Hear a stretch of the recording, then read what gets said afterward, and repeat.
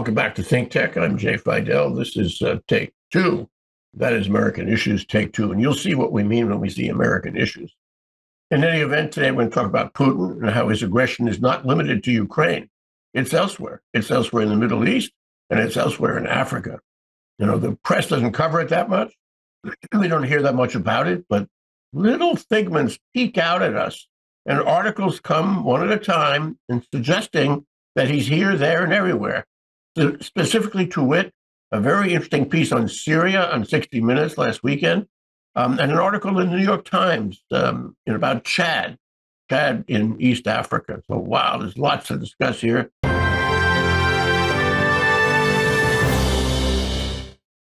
Welcome to the show, Tim Manfred. Let's start with you, Tim. Um, you know, what in the world is going on, and why don't we hear about it? Um, you know, I guess I would add that uh, we we have a lot of media coverage of the dysfunction in Congress and all the machinations among the Republicans in Congress and and otherwise, but we don't hear about what's going on. We don't. I don't think there's enough coverage on Ukraine. But beyond Ukraine, we don't get any coverage about exactly what's what's going on in the Middle East and Africa, and especially Russia's involvement. Why don't we hear about this? I just don't think the United States has put a lot of attention um, in Africa. Uh, it only becomes an issue when Russia forces its hands and um, we get a you know military conflict out of Africa, and because it's it's been fueled and supported by Russia um, for years in the past.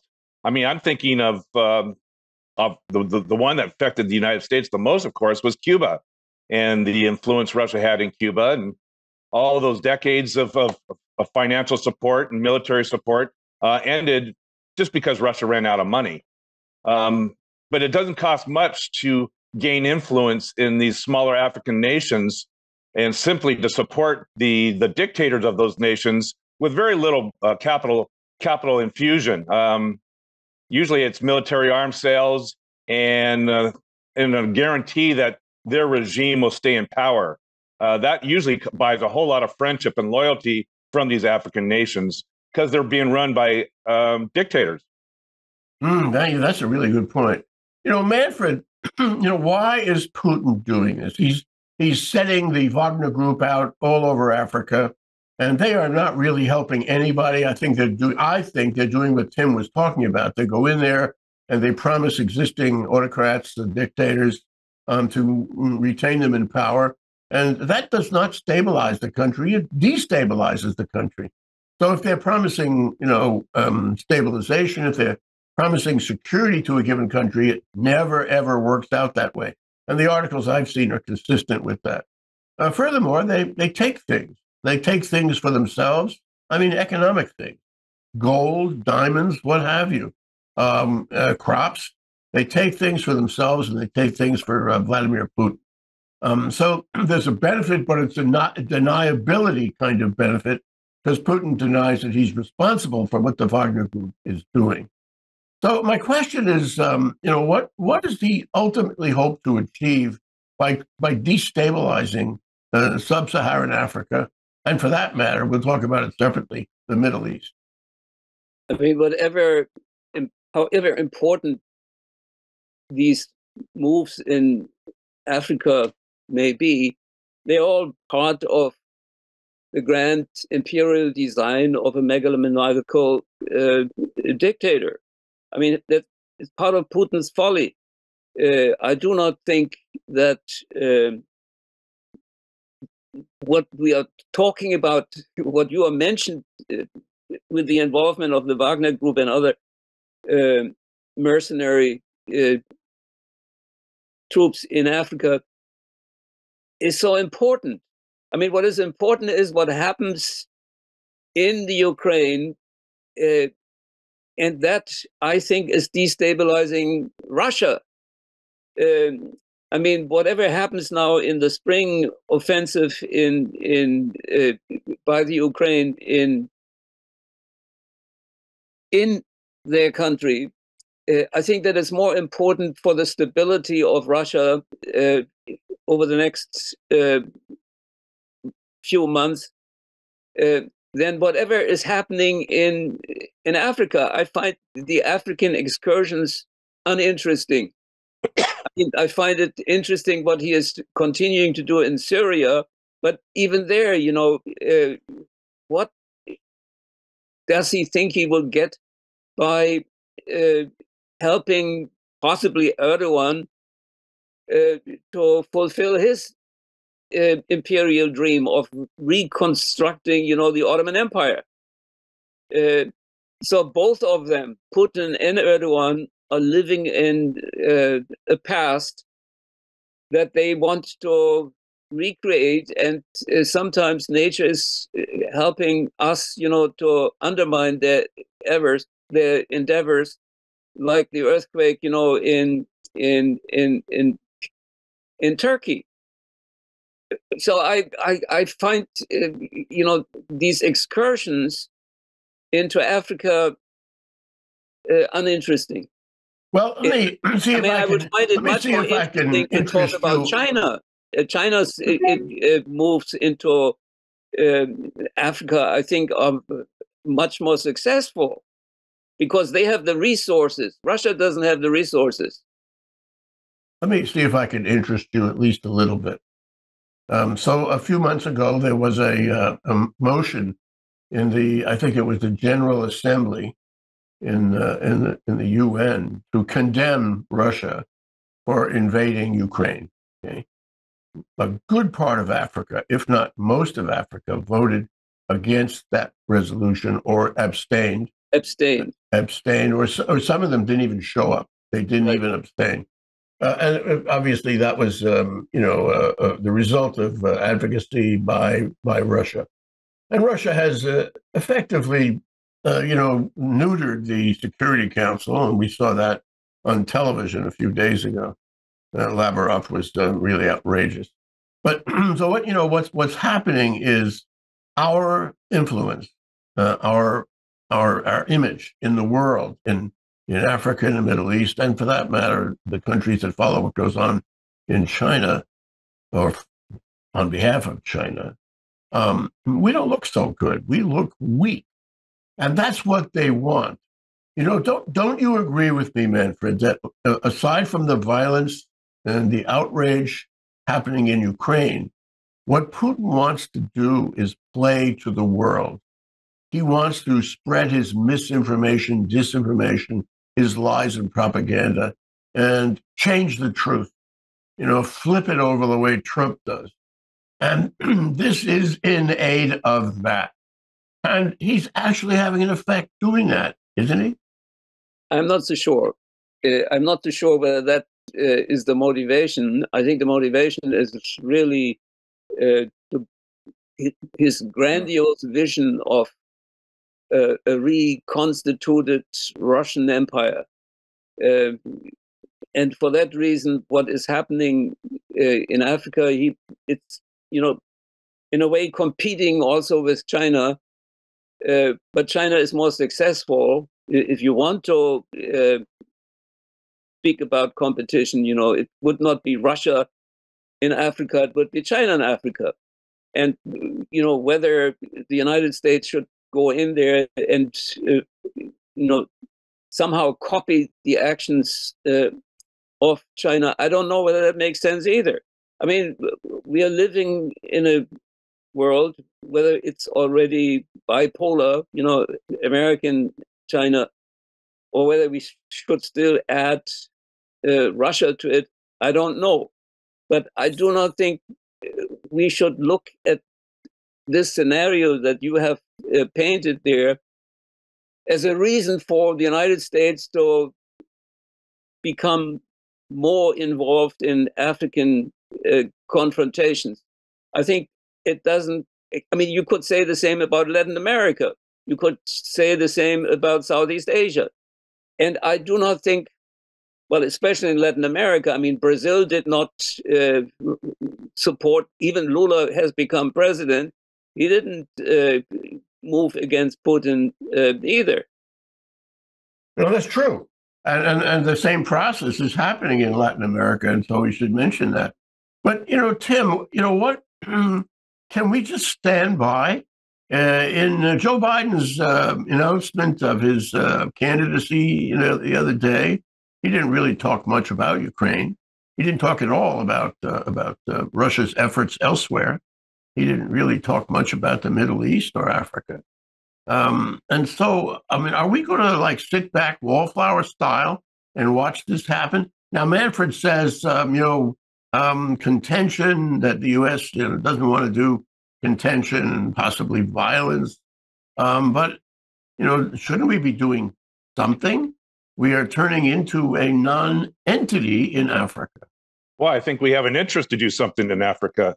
And I'll go to Manfred's um, case about how China did it.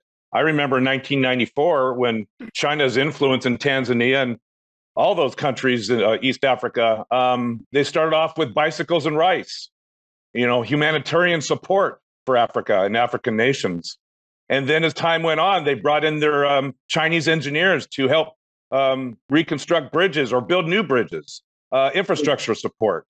And then, lo and behold, before you know it, uh, China now has mineral rights in all sorts of African nations. And what are those mineral rights for? Computer chip uh, production. And so there is a vast source of raw materials and minerals in Africa that uh, cannot be found anywhere else in the world. Or if if so, it's you know already stabilized in countries that you know the value of their their their raw materials they're going to sell them at high market prices. Uh, recently, China was shown the door in the uh, Republic of Congo, thinking that they had a you know a corner market on on on the raw materials for computer chip manufacturing. Guess what? Congo sent them packing because they knew now the, the value of what they had in the, in the earth. Uh, so Russia may be doing the same thing because computers is, you know, we only have so many raw materials to generate computer chips. And it's the United States' interest also to ingratiate themselves to African nations with economics um, enhancements and, and infrastructure support to be a competitor in Africa. So we can't afford to ignore Africa, uh, but at least we have to be like China, um, a, a nation that can be as seen as a competitor and an economic partner. So, Manfred, just for a moment, I'd like to make you an advisor to the existing president, maybe the next one, and uh, ask you, you know, which where should our focus be? There's two things happening here. One is, um, you know, the deterioration of security around Africa and the Middle East. I mean, it's, it's horrible. The 60 minute segment on um, on what um, what's his name Assad was doing bombing civilians, bombing hospitals so that wounded, maimed people could not get medical care. Uh, the doctors there are uh, just just astounded uh, with the lack of humanity. Um, you know, this is pretty bad stuff. That's really the ultimate lack of security. You can't even get fixed when you're broken. Um, but you know, it goes beyond that. It goes to what Tim was talking about. It talk, it, it's about um, you know humanitarian help. It's about economic help. And so, mm, what if I made you, uh, you know, an advisor? Uh, what would you do about a given country that was being de- destabilized? And everywhere the Wagner Group goes, you know, destabilization follows. And what would you do about a country where uh, Putin was making inroads on, on resources, on minerals and agriculture, uh, what have you? Um, I mean, he's really got both both ends working here, and it's all across Africa. And I suppose you could say it's all across the Middle East, but, but that's a different story because what he's doing there, and this is very relevant to our discussion, is he's being a statesman. He's creating new relationships between the Saudis and Iran, between Iran and Syria. He's making old enemies new friends. He's becoming a global statesman where 10 years ago he was nothing. it's uh, quite remarkable what's happened there. So my question is, what is what tact does the U.S. take, if any? If you say we should turn our back on it, what's the result? Look, you just mentioned the rapprochement between Saudi Arabia and Iran. That was not launched by Russia. That was launched by the Chinese. Um, so you know you have your image of Putin's power at this point and influence, I think is ex- exaggerated. Um, and uh, I do not think uh, Biden should be uh, trying, you know, to copy uh, or to move against any of the interventions that uh, you connect with Putin. Okay, but what what what should he do? What's the affirmative action that Biden should take? What's your advice to him? I mean, I my advice to him is do not become a copy of Putin. Uh, you know, be rational, be uh, smart, and pick you know your uh, your targets, but do not make the same mistakes that American presidents have made before. And I mean, and this, if they would follow Putin's moves and and have you know empty American prisons and send them with Wagner, you know, to all over the world, I mean that's crazy. Uh, I mean, you have to you have to also see the madness, the political madness of Putin uh, moves. I mean, he he is not uh, the super uh, man. You know, uh, he cannot rely on uh, oil and gas. You know, in order to uh, somehow keep his messy regime in in in place. I mean, Russia is not a very successful political, social, economic uh, empire. I mean, they are as economically, in, in terms of its industry, they are as uh, run down as they were when the Soviet Union collapsed in, in 91. Uh, I mean, the only thing that uh, they have, you know, is oil and gas. But what does that mean? That does not uh, that does not indicate that, that Russia is a successful political. So then, wouldn't it be easy for the United States to help these countries? But we're not. Well, yes, but there, might, there are limits to, to the help that the United States is capable of providing. Well, you mean politically or economically? Economically. Um, politically, maybe they, they, they could do more, but I think there are limits to what the United States can do uh, at this at this point. Um, and I think you will see you see it already now. You know the support for the for the military um, assistance for the Ukraine is becoming. Uh, Biden didn't, as mentioned, didn't talk about it, and that may become uh, worse. You know because uh, the resources of the United States are limited also.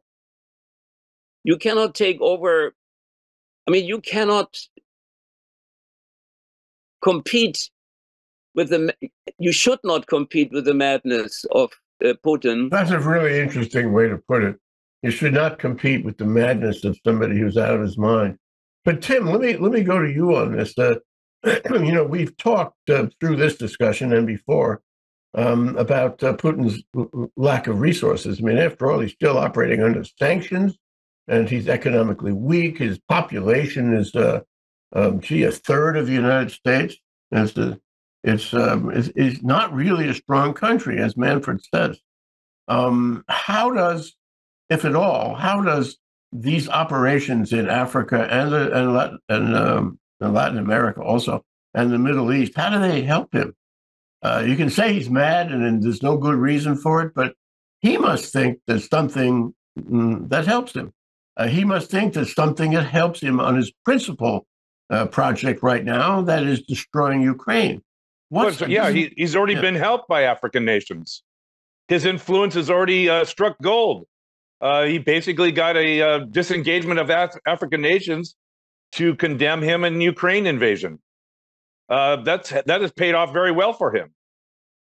But you yeah, know, but look, uh, if you say that, then you should make the same argument against China and Brazil and and other. Uh, oh, I do. I yeah, I, I mean, we're looking at a. No, go we're, ahead. we're looking at a sphere of influence that uh, the United States is woefully lacking. And that is, like I said, China's been in Africa since the early 1990s. I saw it with my own eyes. Um, and they've done very well in those African nations to well, ingratiate yes, themselves up, up, to some point. Yeah. You, know, you are well. Let me, let me throw one. Also, you know, you have they have a lot. They have created a lot of uh, hostility in the countries in which they exist. I mean, I when I was in South Africa, um, a few years ago, uh, it was amazing to see how uh, the Russian, the Chinese embassy, you know, was like a fortress. Um, and how, uh, you know, in, in other uh, African countries, uh, they are not using local uh, workers, you know, and do their jobs. They bring uh, Chinese uh, labor Mhm. Mhm. crews. So what you have there is, on the one hand, they are successful. On the other hand, they are creating a very, very hostile, uh, anti-Chinese sentiment as well. I mean, now that you had in with them with the United States uh, in the 50s and 60s, anti-Americanism, you know, was very, very much a part, you know, of this um, outreach that uh, Jay is talking about.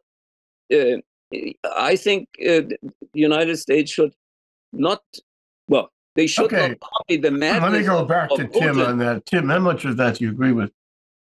Um, I, I agree with about 80% of what Manfred's saying. And I guess the 20% differential is we need to stay engaged in that with Africa and, and, and form those relationships and partnerships. I remember Bill Clinton uh, forming a consortium of private businesses to invest strictly in the sub-Saharan uh, regions of Africa to, to spur economic growth, thereby keeping them out of the hands of Russia.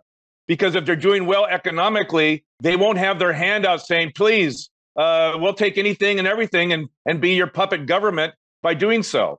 So by, by the United States' interest of keeping Africa and the African nations healthy and vibrant as possible, um, we are doing great work by doing that. Uh, I Hmm. think we've fallen off the mark. And we're not doing that so much right now. And um, I think we need to engage further. There's the 20% I don't agree with uh, with Manfred. Let me let me tell you about two thing two issues that we covered over the past year or so. Uh, one of them was the cobalt in the Congo. Congo was rich with cobalt, and uh, the United States um, had a company, American company, that owned the cobalt mines in Congo. Um, but um, I guess um, the Chinese made an effort to buy uh, those mines, and the American company sold them. Now, all of a sudden, all the cobalt in this cobalt rich country was in the hands of the Chinese. Beautiful move by the Chinese. But the government switched it around and, and incentivized or encouraged this American company to reverse the deal.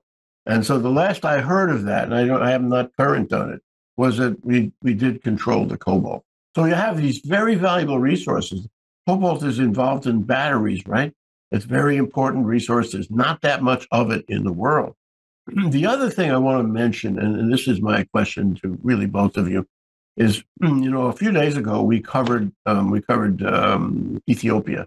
Now, Ethiopia has water. Ethiopia is the source of the Blue Nile. Ethiopia controls agriculture in Egypt. Egypt is terrified that the building of a dam, a huge, big, biggest dam in Africa, um, called the GERD, G-E-R-D, um, in Ethiopia is going to change its economy, its agriculture, everything for it. It's terrified of that. And, and it has threatened war against Ethiopia. Okay? At the same time, Ethiopia has, um, it has, um, you know, a lack of security. It has a lack, it has a lack of internal stability. And the Russians are there and they're trying to foment this, okay, for their own purposes. And maybe one of the principal purposes to answer my question earlier is to create problems, to create violence and disturbance, um, because they think in some cases, maybe in many cases, that helps them. And so if there is a war um, between, you know, uh, uh, Ethiopia and Egypt, and there's a chance that might happen, um, you know, maybe that benefits Russia. And so maybe Russia is right in terms of the the effort of creating, um, you know, disturbance and violence and civil war uh, in Ethiopia works in its favor. And it's so cheap to do that. You get the Wagner boys in there, and they can create a civil disturbance and a civil war in no time at all. And if that benefits, you know, Russia in terms of, you know, being the big player on the block as far as bringing Egypt within its influence, uh, gee whiz, that's pretty good because it can get resource from Egypt. anyway, what I'm what I'm really asking you both is, isn't there a value for Russia in creating civil disturbance throughout Africa? And isn't that so cheap? You know, they may not have any money, but it doesn't cost much to create a civil war. No, it costs a lot. And I think you're exaggerating, you know, the power and the influence. I'm only Russia. doing that to provoke you, Manfred. Yeah, okay. You sound, I mean, you sound as if you're talking about the Soviet Union, the superpower. You know, I mean, it's a, it's a tape from the 50s and 60s that you are uh, playing there.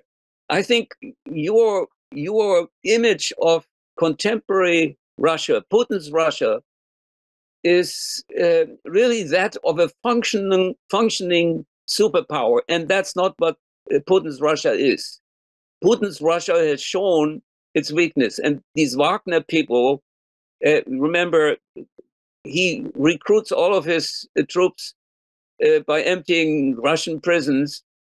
Uh, their commitment, you know, is very, very questionable, and I do not think that this these imperial these imperial uh, moves that you are describing, you know, as very successful, they are neither successful nor there's any there's any uh, I think political value overall connected with them. I think what you are talking really about a Russia that is this that is the Russia of Putin's dream. But I think there's a reality here, Manfred. But that doesn't you, know, you, you have seen the footage of Putin next to us, what's his name, Assad in Syria, and it's Putin's MiGs that are flying those missions to destroy Aleppo and every institution, every human structure uh, in in uh, West uh, Syria. yeah, and he it's, gets it's quite, it's, and he's there, man. He's there. Right. He's, he's he's shaking hands with them.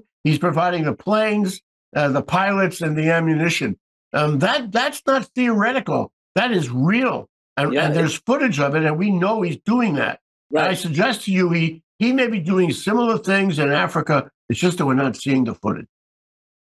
No, I'm I'm I'm sorry. You know, that sounds a little bit conspiratorial, but I think the success, the success, uh, you know, of his intervention in Syria is somewhat questionable also. And then you have this other uh, uh, guy, you know, the, the president of Turkey, uh, who really wants to bring Syria back into the Ottoman. I mean, he wants to recreate the Ottoman Empire, and, and Syria was part of it for for centuries. Uh, so what you are having there, you know, are three madmen uh, fighting each other, uh, and for that reason, you know, I find your vision of a success in that part of the world uh, as overrated as uh, your fears of what Putin may be capable of doing. Okay, in, I'm not going to argue with you about it. I let me say that I don't agree. But uh, Tim, what about you? Where where, where do you stand on this? Well, let me speak out both sides of my mouth, which I don't like to admit, but I'm going to do it. and that is, um, I I agree 99% with Manfred, but at the same time, we saw evidence of Joe Biden going to Saudi Arabia to say, please don't produce, uh, please increase your production of oil. Uh, we need some help here on inflation values of uh, gasoline prices here at the pump in the United States. And what did what did Saudi Arabia do? They they didn't do that. They decreased because they have that relationship with Russia and they were influenced by Russia. And so they didn't take, I mean, it was embarrassing to see the president of the United States go with his hat in hand and come back empty. Um, it was a bad moment for, for visuals of the United States power and influence. Uh, he was shown the door. And that's a direct result of, Jay, to what you're saying is uh, Putin's influence, uh, not only in Africa, but certainly with Saudi Arabia. Okay, well, I, we're almost out of time, so I think it's it's time to make uh, closing statements here. And I think uh, I would like to ask you to include in your closing statements, uh, you know, how all of this affects the world view of of the invasion of Ukraine, um, because um, it's not clear that people around Europe and elsewhere are as ardent to defend Ukraine today as they as they were before. Uh, there's a very interesting. You know, remember Mark Hamill of Star Wars? He has, uh, yeah, he has a, he has a charitable program going on where people can contribute. The average person can contribute to buying drones for um, Ukraine. You know, little drones that do surveillance, and, and that is really very interesting. And it reminds me of when I sat on the neighborhood board here in Hawaii and um, they would they would come to us and say, "Can you guys uh, spare a few bucks for pencils for the elementary schools? We don't we don't have any pencils in the elementary school, and we hope that the members of the neighborhood board will help us with the pencils." You know, that's where we are now. And this is not a full throated response. If it was before, it is, certainly isn't that now. And I suggest to you, and I like your comments on this, that you know this this all the world is a staged notion that we are seeing play out in the media, not only in Russia, but elsewhere, um, does have an effect on the world view and participation in the defense of Ukraine. Manfred, you first. And the reason is I know you're going to disagree with me. No, I don't disagree with you. I, I think you uh, put your finger on uh, something that may become uh, really very, very dangerous uh, very soon, namely the lack of support for the Ukraine. At this point, I think it, in especially in Europe, it is not the case. I mean, looking at Germany, for example, uh, the delivery of tanks and, and weapons is going smoothly. And even though you have uh, loud opposition on the right and on the left, uh, the Greens are in the forefront of supporting, uh, you know, these deliveries.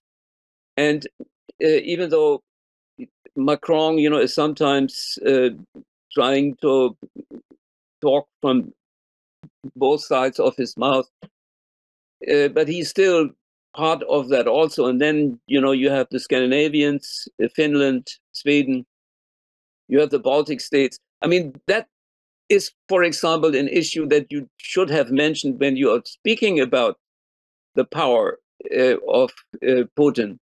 That you have, uh, you know, recently, I think also in the in the, in the secret papers, the discussions about with inside the Putin circle, of moving, you know, uh, to try to include the Baltic states again, you know, in uh, in in Russia, uh, the total reversal, you know, of uh, in a way the the collapse of the Soviet Union. I think that is a much more dangerous scenario than what you think. Oh no, we've we've covered that before. We've covered yeah, it for I mean, the, the, the Baltics and the Balkans as well. Yeah, well, well, not not the Balkan, but I mean, uh, Mold- Moldova, uh, Georgia. Uh, so what you have that I find dangerous uh, more, and uh, it is possible, you know, that there are some of these uh, initiatives that seem to be discussed in the inner circle of power in Russia uh, that they will try to do that. But I do not think they will be successful in that regard. I think what they are really doing, what all of that is doing to Russia, is the self destruction of a once. Okay, we're waiting. We're waiting for that. We're waiting for yes, the self destruction. I think uh, it is really uh, self. Russia is in the process of getting destroyed from within. Okay, let's let's uh, go to Tim. Tim, can you put all of this together and, uh, and try to make some summary that wraps around all of it. Oh, thanks, Jay. um, you know, if you think about it, the sanctions that have been imposed by the EU and, and the United States should have had a real big impact to Russia and uh, economically squeezed them. But that really hasn't happened. And, and maybe this goes to your point, Jay, is the influence of Putin on all these other nations to help him skirt uh, economic sanctions of Russia. I, am thinking of Modi of India. I'm thinking of Erdogan of Turkey. I'm thinking of Iran, and certainly a direct military capability of um, drone technology that has helped Russia. I'm thinking, of course, then of the African nations, and let's not forget other parts of the Middle East. So I think your point's well founded. I, I think that his influence as a statesman is certainly beyond what I think would have been capable. He would have been capable of. Uh, but I also agree with Manfred is that the time, you know, the clock is ticking, and the resource issue is going to finally end up on the front doorstep of Russia, and his power will wane, um, depending on whether he has a health issue or not. Um, I think Putin's days are numbered, but up to now, he's he's negotiated fairly well with all these other nations to help them skirt the uh, United States and EU sanctions. Okay, and I'll add my thought. And um, I mean, I, I, feel pretty strongly that the United States should not be isolationist or nationalist. The United States should have a world view, a Marshall Plan view, if you like, um, post World War II, you know, um, liberal world order view. And I think we have lost that. Uh, Trump did a lot to to pull it out from under us and uh, out from under Europe. Hopefully, Biden can continue and succeed in his efforts now and in his next term if he gets one, uh, and and um, you know um, return to a more uh, international view of things. Thank you, thank you, Manfred. Thank you for coming on. We always appreciate your thoughts, even if you disagree with me on so many points. That's okay. I want that. I want point counterpoint. And Tim, thank you so much for agreeing with me, at least in small part. Aloha, you guys. Aloha.